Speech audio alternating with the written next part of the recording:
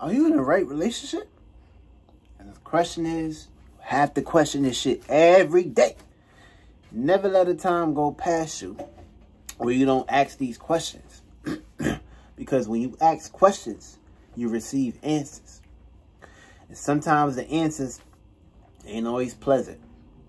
Sometimes the answers ain't always fair. But of course, if you show fear by questioning things, you will never receive the right answers. Your spirit always gonna tell you if you're in the right relationship or if you're in the wrong relationships.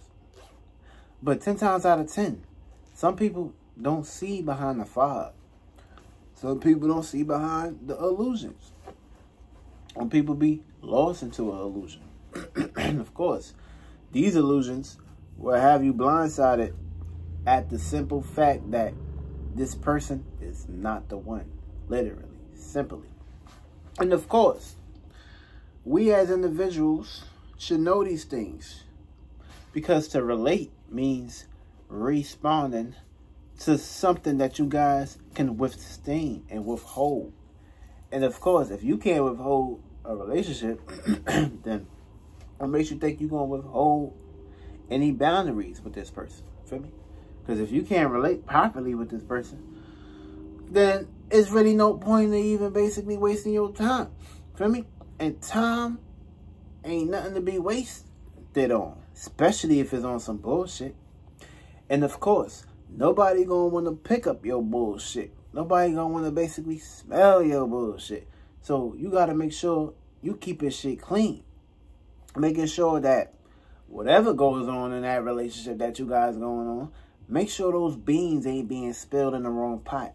Feel me? Learn how to separate it. Learn how to not put things in a mix element. Because of course, if you mixing things up, certain eating certain ingredients don't really rock with certain ingredients, and of course, it could cause a catastrophic event where volcanoes start to erupt. And of course, if shit start to erupt, then things get chaotic, and of course, people die.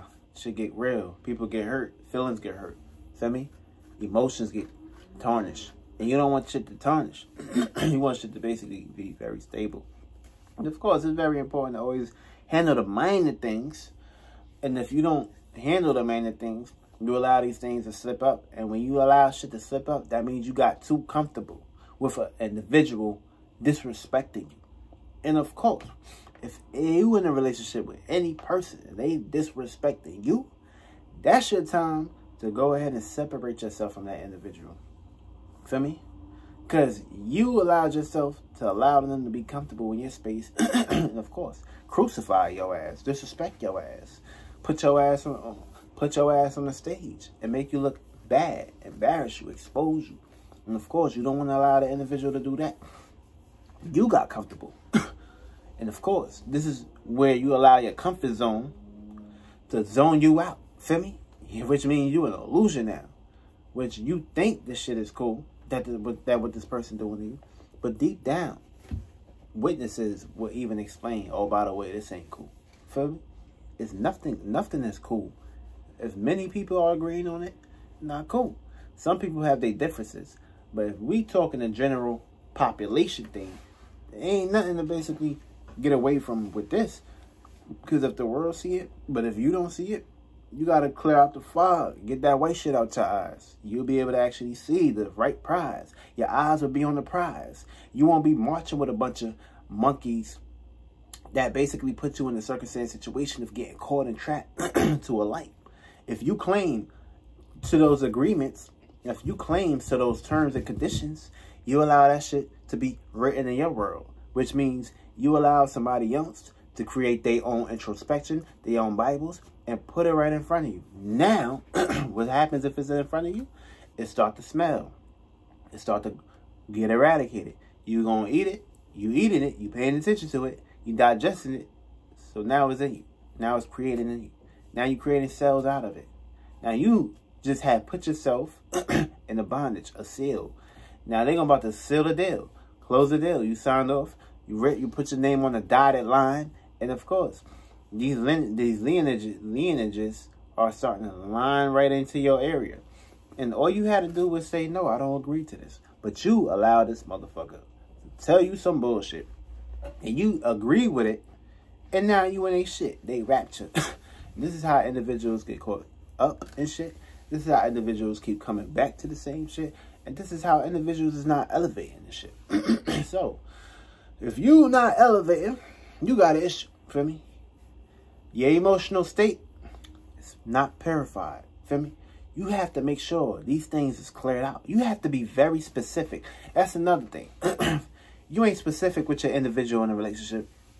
You're not specifically speaking with this person and telling this person what you want to allow and what you do not want to allow, then of course, this individual going to work on you. You're not specific with the individual. You're not telling the individual what you want, and you're not basically spilling the beans to allow them to basically tell them what they want. Y'all just basically got caught into an illusion by seeing each other for what they have, which could be some goodies. Feel me? You get lost with the shapes, the forms, the bodies, and the avatars and shit. And boy, we go right to this shit. And that's the only thing people basically really truly admire when it comes to relationships. That could be another reason why you're in the wrong relationship too. If you see somebody for their body and they desire, now ain't nothing wrong with being lustful. ain't nothing wrong with that shit. But ten times out of ten, when it comes down to them bed, when it's comes down getting her in them, in them sheets, that's truly important.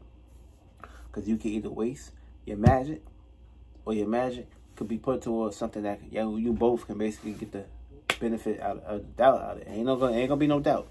Y'all have a y'all have a mentality where y'all can blend in together and focus on what y'all trying to basically create together. There's really no mistake. But if you individuals is out here just lollygagging, connecting with individuals just because y'all doing it for lust, y'all fucking demons.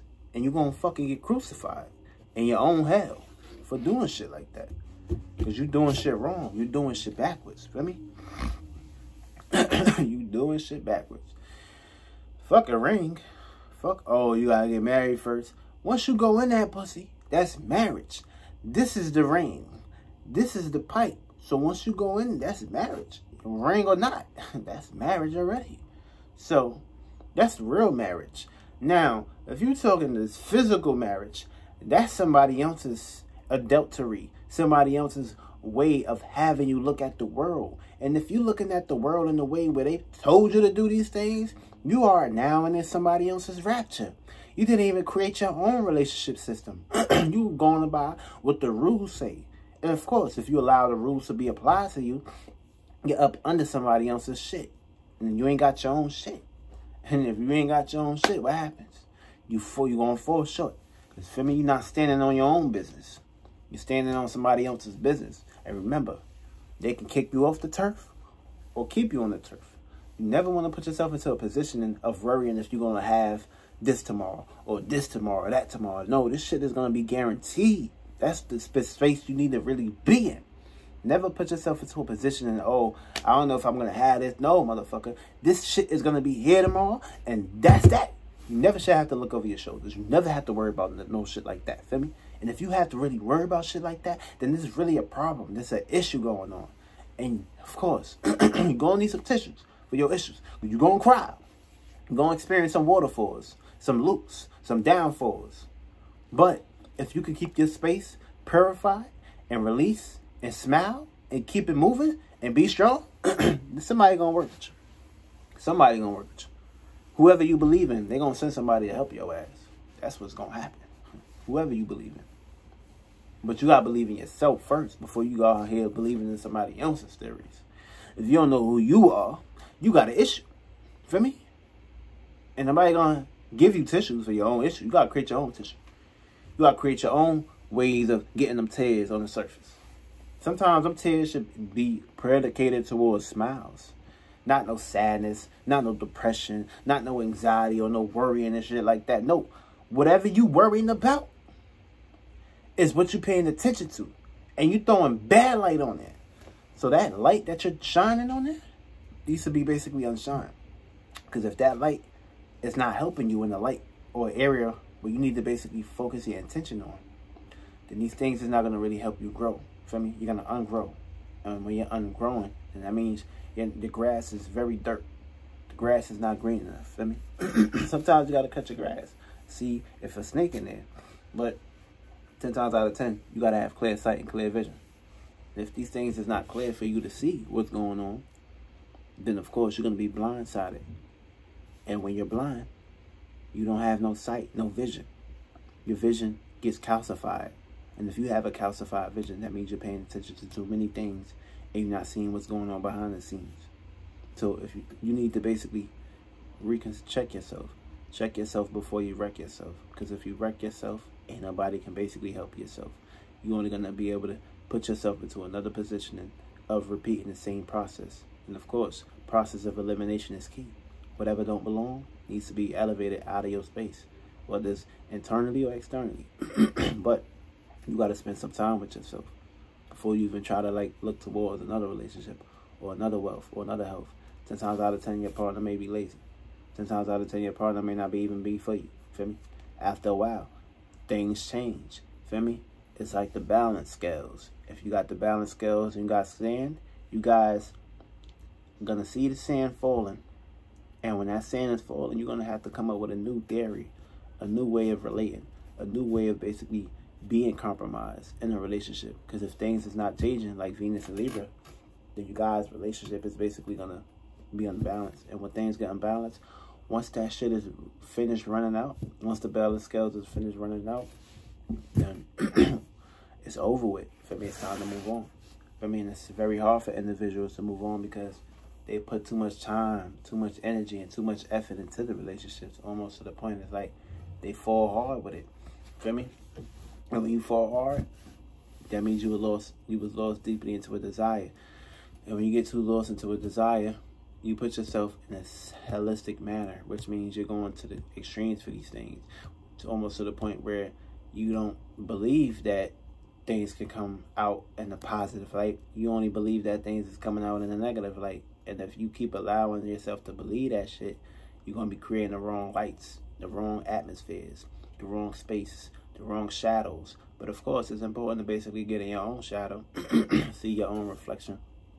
But 10 times out of 10, if you don't do these things, you're going to reflect and neglect yourself. And of course, the light that you basically put into put in intuition towards to, attention towards to, that light is basically going to be so dark and heavy.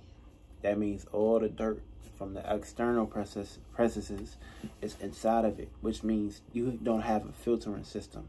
Your filtering system is not clean. You ain't pretty much diminish it, and you ain't basically create no creative endeavors to basically balance out the wells and balance out the scales. That's why you become a well. You become underneath the surface, which means you don't want to basically come out from the ocean. Basically, you are stuck in there with all that heaviness and heavy weightness and heavy distances. You put yourself too much at the bottom. And of course, when you're too much at the bottom, you're going to be in resistance mode, which means you don't want to basically come up. And of course, you're going to eat everything. Eat all those feelings, all those emotions, all those energies, and all those references and prefaces that you basically was basically pondering towards too. So you got to be very careful out here, man. You don't love yourself, don't even get into a relationship with nobody, feel me? Because you guys, what you guys are going to do is create frustration. So it's going to be, it's to be a good lust in the beginning.